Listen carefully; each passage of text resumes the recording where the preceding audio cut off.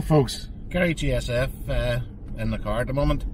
But uh, strange, I'm doing a vlog with uh, in, the, in the car, but uh, here goes anyway. But um, just a few things happened.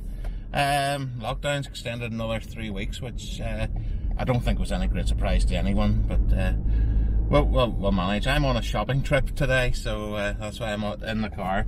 a few bulky items that I, I, wouldn't be able to get on the motorbike, so that's that's why I'm in the car. Um,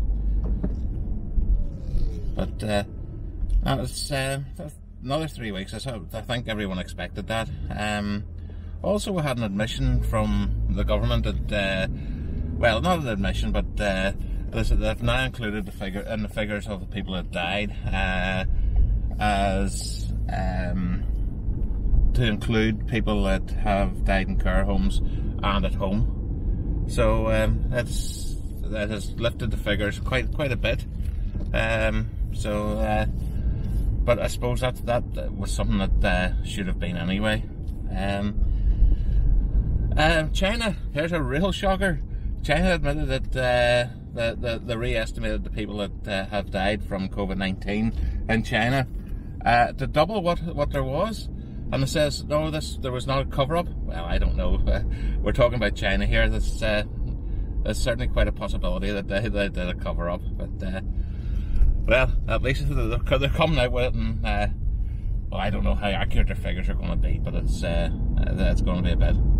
So um, I'll go around here uh, to the Lidl store and see how long a queue. Um, that's I'm expecting 15-20 minutes queue uh, before I get in, and then uh, maybe a little bit more awkward in uh, a little bit more awkward get, getting around the store. But uh, ah, that's it'll be all worthwhile.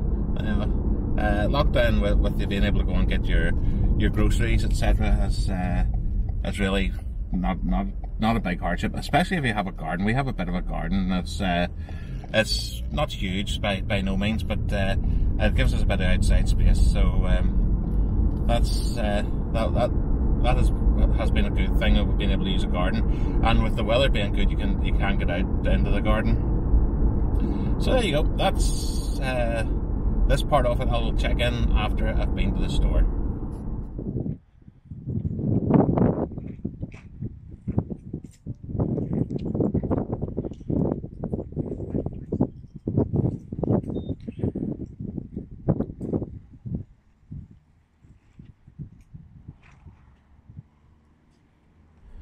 Well that was um, 10 minutes wait. No, no problem at all with that, uh, especially when the weather's good. And, oh here, that's good. Uh, you won't see that, but uh, someone cut in the corner, like you wouldn't believe. But, uh, um, no, it's just 10 minutes wait and 20 minutes in the store. There's nothing much to be complained about that. It was easy enough get round. Now, we did have our um, clap for the NHS last night, and some people didn't come out, but that's expectable. But uh, uh, I think what it ha- that has been doing a good thing that uh, neighbours we've never talked to before we start to talk to, and uh, of course from the, the, sensible distance, but uh, we're able to talk to people and that, that we haven't talked to before. Uh, have we found a new, found a new sense of community? Uh, who knows? But folks, nothing much again to report. As I say, not I'm not doing a lot and there's not a whole lot in the news.